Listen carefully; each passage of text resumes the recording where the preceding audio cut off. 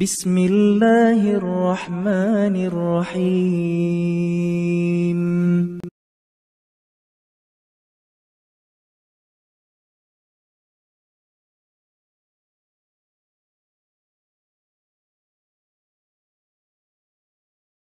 السلام عليكم ورحمة الله وبركاته أخي أختي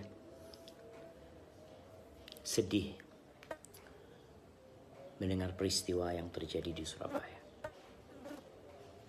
Rasulullah Sallallahu Alaihi Wasallam melarang para sahabatnya dalam kondisi perang untuk membunuh wanita dan anak-anak, untuk membunuh para pendeta yang ada di gereja-gereja itu dalam kondisi perang. Bagaimana dengan kondisi damai?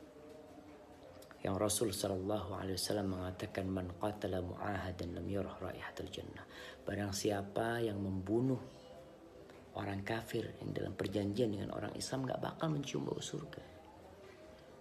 Maka ngobatin teroris ini memang harus dengan ilmu mengajarkan kebenaran kepada mereka. Kalau itu bukan dari Islam. Assalamualaikum warahmatullahi wabarakatuh. Inna lillahi wa inna ilaihi rajiun. Siapa pun pelaku pemboman di balik ini semua yang terjadi di tiga gereja di Surabaya, Anda tidak akan pernah bisa sembunyi. Anda tidak akan pernah bisa lari. Allah Subhanahu wa taala melihat Anda lebih terang dari matahari.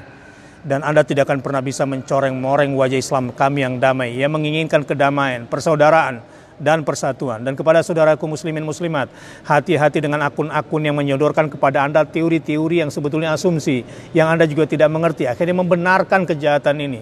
Ya akhirnya akhirnya menimbulkan ujaran kebencian di antara kita. Hati-hati dan kepada saudaraku yang non muslim, terutama yang tertimpa musibah, kita bersaudara. Kita selamanya akan terus bersaudara. Kita akan terus menjaga perdamaian dan persatuan kita untuk Indonesia kita ini. Percayalah, Indonesia akan maju ke depan selama kita terus menjaga persaudaraan kita. Wassalamualaikum warahmatullahi wabarakatuh. Assalamualaikum dan salam sejahtera untuk kita semua. Eh, saya berduka cita terhadap apa yang terjadi ledakan bom di tiga gereja di Surabaya. Memang sangat uh, disayangkan uh, kejahatan ini menataskan nama agama, sedangkan tidak ada agama manapun yang menajarkan seperti ini. Kita di Indonesia hidup dalam berbeda agama, berbeda budaya, berbeda suku, dan kita saling menghormati dan saling menjaga. Kita di Indonesia menjaga NKRI harga mati.